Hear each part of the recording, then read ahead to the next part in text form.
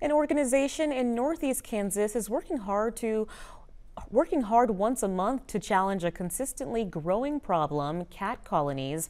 13's Brent Palmer attended one of their clinics and learned why this group of volunteers is taking time to improve their community. Brent. Yes, Victoria. Pawsitively is an organization focused on finding, neutering, spaying, vaccinating, and releasing cats in and around Jefferson County. They have already made a difference in this community, fixing almost 2,000 cats in the past two or three years, all thanks to their clinic. This is our monthly clinic.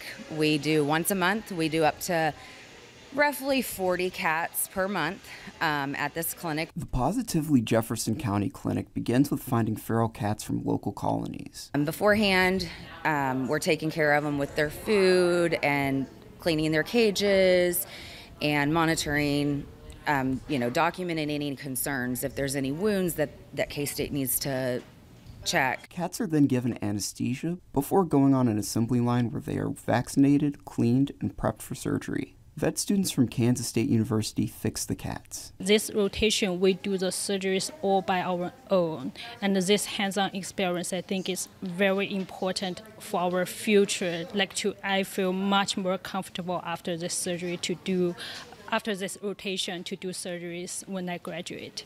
Lastly, the cats have their ears cleaned before being released the next day. All this is made possible with the help of the clinic's volunteers. Our volunteers are our backbone. Um, without them, we wouldn't be here. They're fantastic.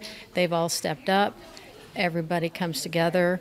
We complement each other very well. Not only does the effort work to decrease feral cat populations, but also improves their overall quality of life. The cat no longer has to go through that mating season.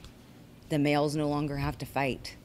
The, the neutering of the males helps the fighting, the territorial roaming, all of those things. It gives them a healthier life. Pawsitively will also host a bingo night at Crooked Post Winery next Thursday.